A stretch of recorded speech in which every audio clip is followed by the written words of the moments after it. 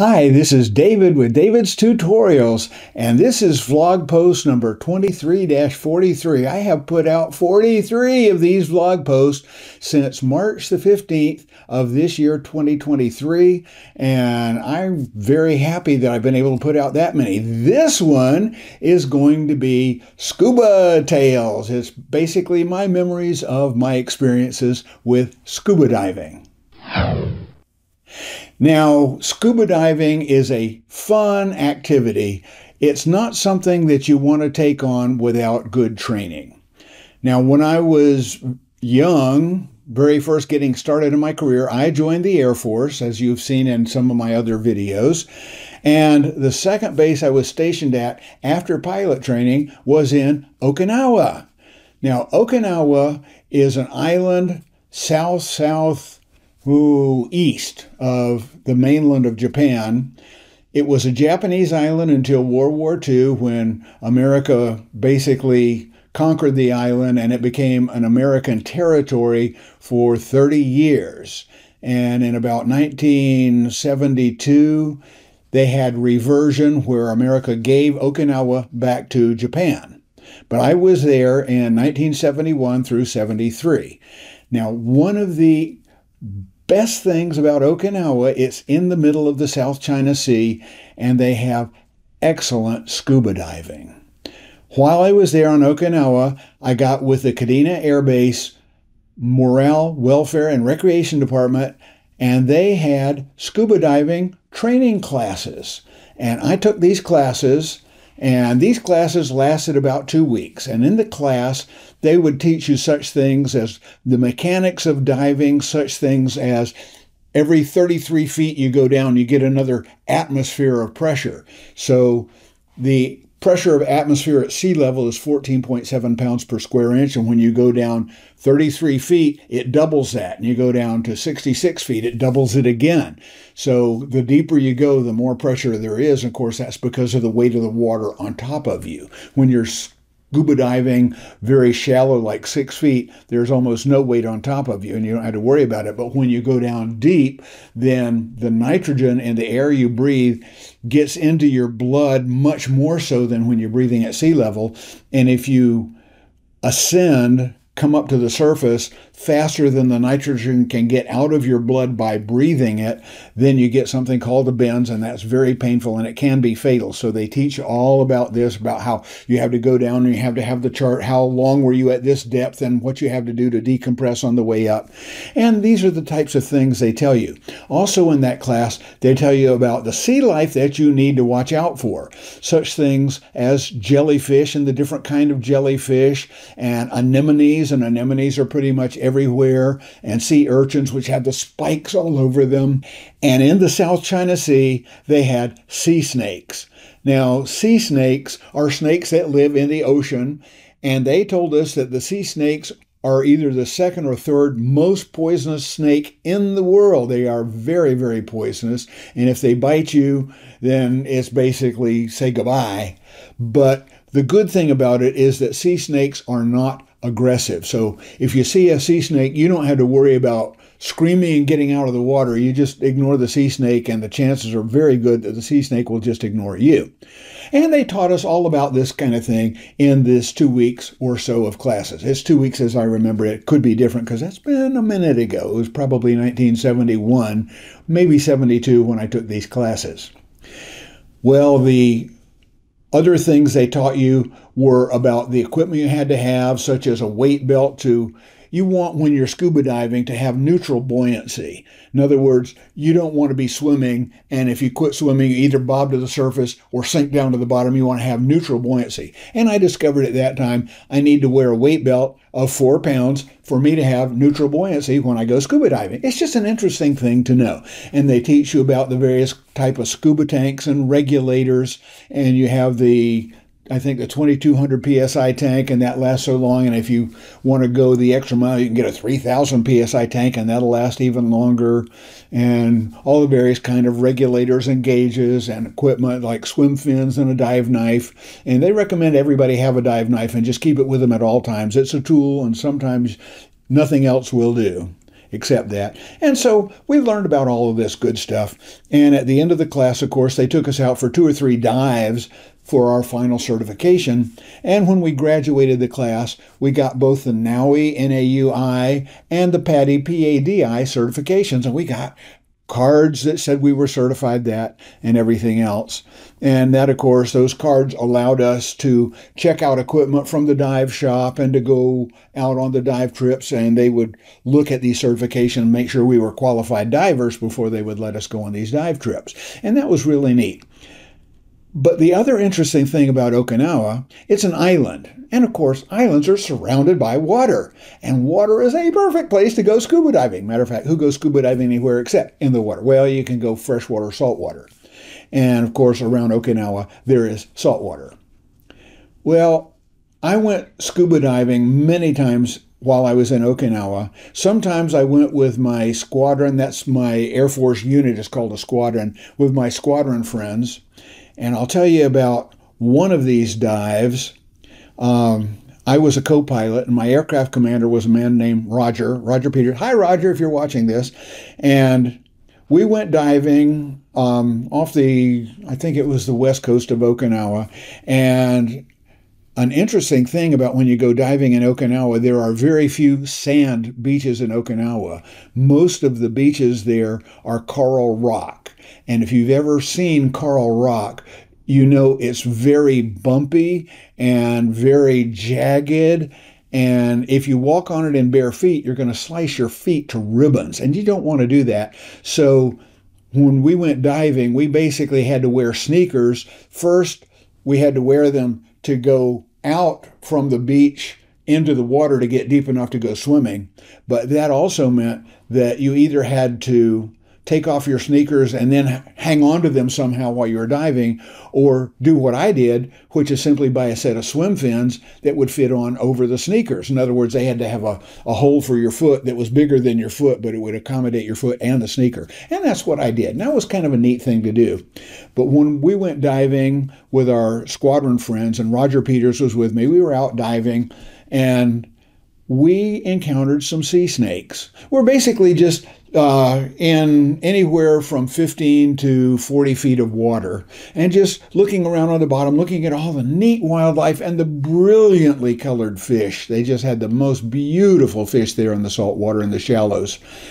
And we would encounter all kinds of wildlife. We could see moray eels. Sometimes they would be in a, a coral rock cave and they would be edging their head out of it and their mouth would open and close. And moray eels are also dangerous. They're not poisonous, but they will bite and they will take a piece out of you if you let them. So you want to be really careful about that. And we encountered sea snakes on this dive. And when we came back from that dive, Roger Peters told us that this sea snake, he was just in the middle water. He wasn't at the bottom, he wasn't at the top, minding his own business. And he saw the sea snake come up to him. And the sea snake came up and it looked him right in the face. And then it turned around and it flew around the back of his head and it came around again. And it kind of hesitated in front and it went around again and it went around the back and it came around again. I think he said it did it three times and it came again and it looked him right in the face and it approached him and it tapped him on his mask three times, tap, tap, tap with his nose. And then it just looked a little bit more and it turned around and it swam off. The sea snake was just curious. What is this creature that's in my domain? And it explored it. And Roger was a little bit frightened, but he had gone to the class and he knew that sea snakes weren't aggressive. And uh, when you encounter a sea snake, basically you just ignored it. So he clenched his teeth and he ignored the sea snake and it went away. But that was a whew, an interesting situation there. Now, another friend I went diving with, he was a civilian teacher at the U.S. government school for dependent children in Okinawa. And he was a marine biologist and he taught biology classes in the local American high school. And we discovered that we both liked scuba diving and we became friends and we went diving a lot together. several times we would go out diving in water that was somewhere between 15 and 30 to 40 feet deep, and he had a slurp gun. Now, a slurp gun is basically a rectangular cylinder made out of plexiglass. It's clear. You can see it in the water, but you can see right through it as well. And inside this plexiglass cylinder, it had a uh, plexiglass closure on the back and it was open in the front. And through the closure in the back, there was a hole. And through that hole, there was a plexiglass rod. And fastened to this plexiglass rod was another plexiglass piece of rectangle that would fit inside the rectangle of the tube. And it was at an angle, like about 45 degrees to the angle of the, if the tube was like this, then the plexiglass plunger was at a 45 degree angle. Now, about three quarters of the way back from the mouth of the tube towards the back of the tube, there was a hole in the bottom, and under that hole was fastened a mesh net bag. I think it was made out of nylon.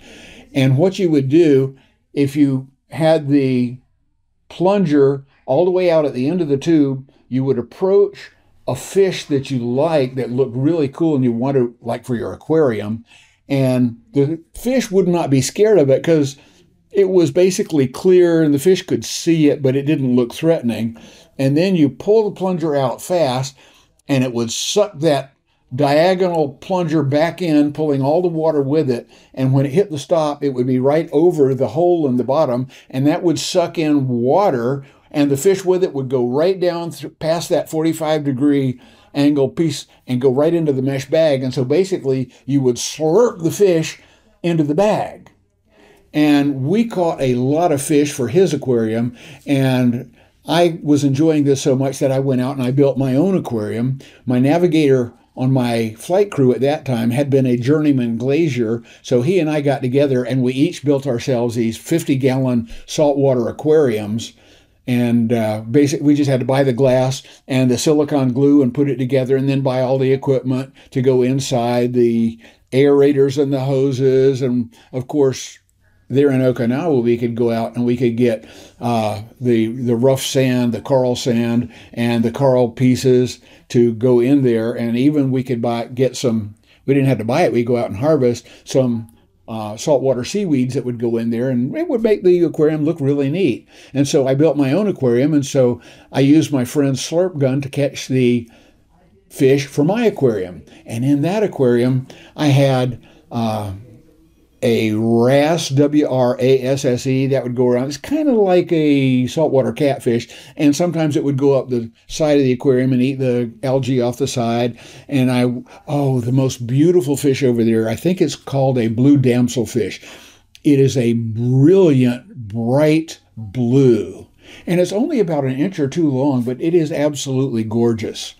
And another fish we could get, and I caught a few of these, are clownfish. If you've watched the movie Seeing Nemo, Nemo was a clownfish. And uh, you could catch these, but if you caught one of these, then you should also harvest an anemone. Now, anemone, it basically looks like a sponge with a bunch of soft, wavery fingers. And an anemone, it lives by catching fish it will sting you. It has little trigger cells in there that if anything brushes against them, these trigger cells fire and they shoot the toxin into whatever it's poisoning. And usually a fish will go by and it'll brush into one of these tendrils and it'll get stung and the, the tendrils will wrap around it and the anemone will feed on that fish. But clownfish are immune to anemone stings and they live right in the anemones and the anemone gives them protection. And the clownfish also, when the anemone catches something, it will, of course, uh, somehow pull it apart, and the little pieces the the clownfish will eat those. So it's a symbiotic relationship.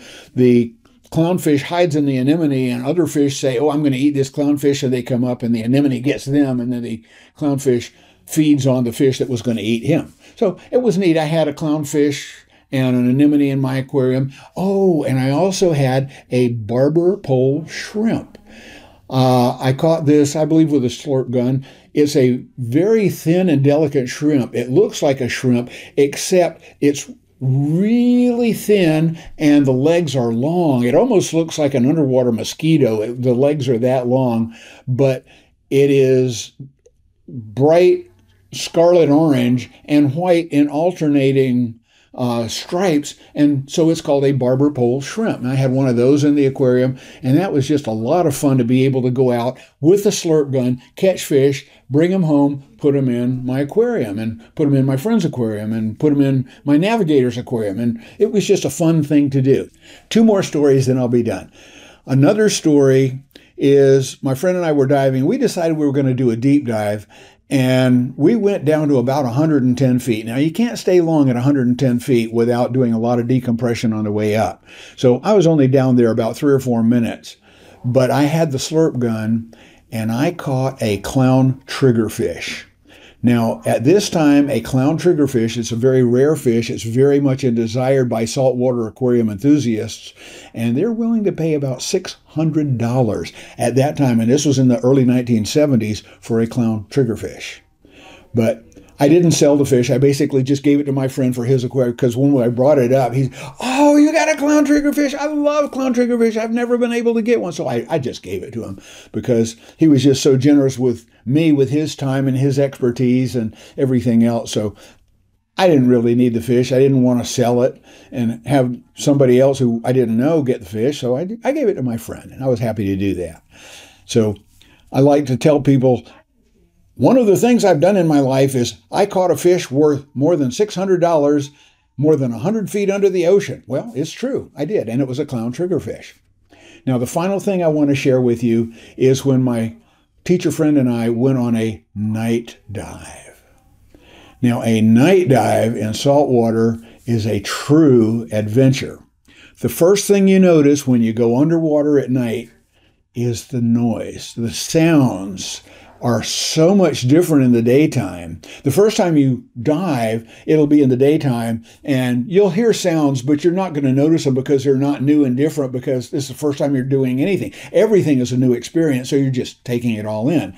But after you dive in the daytime, several dozen times, you kind of get used to the daytime sounds. And if you go dive at night, the sounds are totally different. There are clicks and scrapes and moans and grunts and just all these strange sounds underwater at night. And of course, you have to take a flashlight with you, and it's got to be a waterproof flashlight. But we saw critters underwater at night that we've never seen in the daytime. I saw lobsters that would come out at night. Uh, my friend actually, when I was not with him, he caught a giant warm water lobster. Now, the difference between a warm water lobster and a cold water lobster is the cold water lobsters have these giant claws, and the warm water lobsters generally either don't have them or they're very, very small, just like on the end of their front feet. Um, but he caught one, it must have been 20 pounds. And he said the way he caught it was he just reached down and he grabbed it by the back of the carapace and he pushed it right up against his wetsuit on his chest. And while it was there, it couldn't do anything. Of course, it was scrabbling and trying to get away, but he was holding it there and he swam up to the top where he had an inner tube that had a bag in the inner tube and he put it inside the bag in the inner tube and he had a wonderful lobster dinner. But on that night dive, we had a great time. Now, that was my diving in Okinawa. I want to tell you one more diving experience, and it's the only diving experience I had in the United States in salt water my diving experience in the United States, I came back from Okinawa. I met my wife in a class at the University of Florida and we got married and we were living in Pompano Beach at the time. And she decided she wanted to learn how to scuba dive also. So she took classes and she got certified. And then we went on a dive organized by the shop where she took her lessons.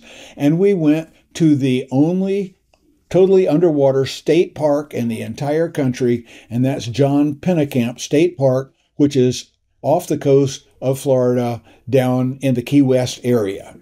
Now, John Pennekamp State Park, as I said, it's totally underwater, and they have put a number of reef building things, junk cars. I think they've even sunken a ship in that area. But once you put stuff down on the bottom of the ocean, it very quickly becomes barnacle encrusted and becomes a home to wildlife, undersea life. And we could go swim in that area. Now, two memorable things happened on that one dive that I had in the United States in salt water. And the first memorable thing was when we went down there. I looked off in the distance and it looked like it was far away, but it was probably only about 50 yards because the water wasn't totally clear like it was in Okinawa. I looked over there, and there in the distance was a school of barracuda. Now, if you're familiar at all with big fish in the ocean, you know a barracuda is a torpedo of a fish with an underslung jaw and really mean teeth. One of the things that they told us in dive school was that a barracuda is attracted to things that flash. For example, if you're out there diving and you're only wearing your bathing suit and you lift up your arm and it sees the white underside of your arm, it might think that's a fish belly and it can dart in. It's like 60 miles an hour and it can take a chunk out of you in a heartbeat. So that's one reason that when I went diving, I always wore an old long sleeve shirt, a long sleeve button up shirt, and a pair of jeans. I, at that point, I just couldn't afford to go buy a wetsuit and I didn't want to spend the money on it anyway. But I was wearing my long sleeve shirt and my jeans for diving when we went out into Pennekamp. And I saw this school of barracuda and I thinking, ooh, these are, there's like 8, 10, 12 of them out there. And they were just hanging there. And the Gulf Stream is a current that flows around the state of Florida. And they were hanging there in the Gulf Stream, basically still. They were probably swimming at two or three miles an hour to maintain their position, but they were just hanging out there. And I was hoping fervently that they had just had dinner and they weren't really interested in anything else right now. And it was just scary to look at and know that every single one of those could swim at about 50 or 60 miles an hour and take a chunk out of you if they really wanted to. So it was like, mm-hmm. wasn't real happy with that. But the other memorable thing was we went down to the bottom and there was a lot of coral and growth and seaweed and ferns and uh, just all these other things. And I found a moray eel. Now I remembered what I had done with moray eels when I was in Okinawa, and so I motioned to my wife and said, "Hey, look at this!" And I got out my dive knife and I went over there and I kind of poked at that moray eel, and the moray eel, he doing his mouth like that. I didn't think anybody could scream that loud underwater. My wife was not real happy that I was poking at this moray eel, so uh, I I basically gave that a rest and didn't do that anymore. But that was my experience of diving in the United States. And not long after that, um, I went back in the Air Force and kept all the scuba diving equipment that I had bought over the years when we went to Maine, of course, there was no scuba diving in Maine or none that I wanted to do. And after Maine, we moved down to Alabama. When we got to Alabama, I just put an ad in the paper and I sold all my scuba diving equipment. And I just haven't been scuba diving since then. But it was a fun phase of life to go through scuba diving. And I hope you've enjoyed coming along with me on this trip down memory lane and just enjoyed hearing these stories about scuba diving in Okinawa and in John Pennekamp State Park in Florida. As always, if you enjoyed this video, go ahead and give me that thumbs up. If you do that, that will let me know you enjoyed the video and it will let the YouTube robots know that, hey, people like this video, we ought to recommend it to somebody else leave me a comment down in the comment section. Tell me how you like this video. Tell me that you're going to share it with other people, okay? And if you're already a subscriber, thank you so much. I do appreciate every single person who has subscribed to my channel. And if you're not a subscriber yet, why not go ahead right now and click that subscribe button and then the bell icon so YouTube will let you know by email when I post another great video right here on David's Tutorials and Vlog channel. Meantime, everybody have a wonderful day. Take care and I'll see you in the next video. Bye bye.